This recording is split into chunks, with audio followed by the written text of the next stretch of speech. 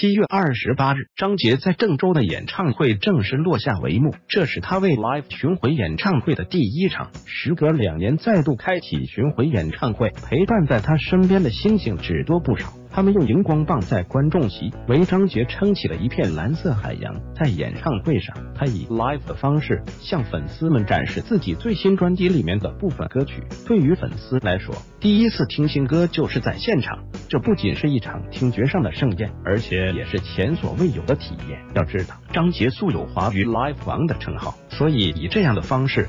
向粉丝们交出自己的新歌，不仅意义非凡，而且也是他对自己发起的一次挑战。最终，他也证明了自己是对得起这个称号的。郑州场的完美落幕。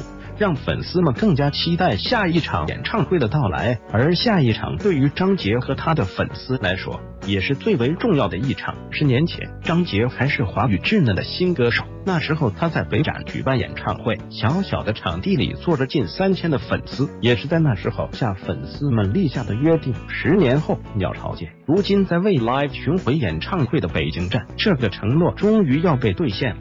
鸟巢演唱会是张杰十年前遥不可及的梦想，也是他跟粉丝之间的深情约定。如今这一切就要在八月十一日实现了，正好十年。张杰没有辜负自己，也没有辜负星星。五月十六日，能够容纳八万人的鸟巢站正式开启预售，没想到短短三十秒，那场票便已售罄。全部门票也只花了两分三十八秒就售罄，用粉丝的话来说，这就是一票难求。这场梦的实现是张杰跟星星们共同努力的结果。为了让一直以来支持他的星星们有更好的 live 体验，张杰在音乐团队、造型团队，包括音响设备方面都煞费苦心。此次演唱会，他特意选用了世界顶级音响品牌 L Acoustics 舞台。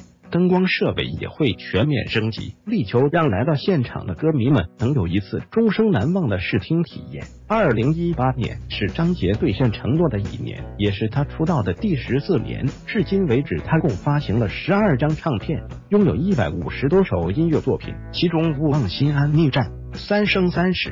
只要平凡等都是传唱度极高的歌曲。这十四年来，他一步步的从华语新歌手坐上了雷王的位置，向所有人交出了一份漂亮的履历。靠的就是他坚持做音乐的初心。二零一八年，张杰也完成了人生中一次重要的身份转换，从丈夫到父亲，他变的是身份，不变的是初心。许多人认为他晋升奶爸后不断上综艺是为了捞金，但其实这更像是他的一场自我救赎。孩子的到来。来让他的内心世界也有所改变，他不再像过去那样过分跟自己作对，急于向这个世界证明自己，却又清高的不肯低头。他明白了，要让大家喜欢自己，首先要让大家认识并了解自己。在这些综艺里，他的确也让我们看到了不一样的他。他虽然不善言辞，但是会默默做事。向往的生活里，他捕鱼。砍柴为主出打下手，虽然很多片段没有播出，但是从黄磊没有你这顿饭还真的不好弄这句话里就知道他做了很多，只是我们看不到。在创造幺零幺里，他又化身暖男，花费许多时间与精力，耐心的为练习生们指导、传授自己经验。其实因为刚刚晋升为奶爸，对节目里的小女生们。都有着对女儿般的疼爱之情，有练习生哭的时候，他也会上前给予鼓励。虽然是参加综艺，但他还是不经意中展现了自己的歌唱实力。奔跑力，为了求生，他现场清唱了一段《勿忘心安》。